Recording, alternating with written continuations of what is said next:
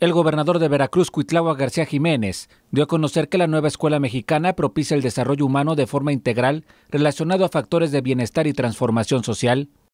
Propiciar si esta integración con las humanidades, las artes, la ciencia, la tecnología y la innovación.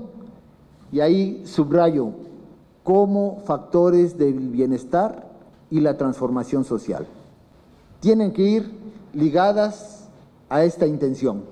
Por su parte, el secretario de Educación en la entidad, Senyacen Escobar García, expuso la estrategia estatal para la implementación de la nueva escuela mexicana, donde se contemplan a 100 planteles educativos de la entidad, 10 escuelas por cada una de las regiones para la fase de pilotaje, que dará inicio el próximo 31 de octubre. La fecha de inicio es el lunes 31 de octubre del nuevo plan de pilotaje de las fases y los grados que hago mención. Como ya lo decía, son un total de 100 escuelas.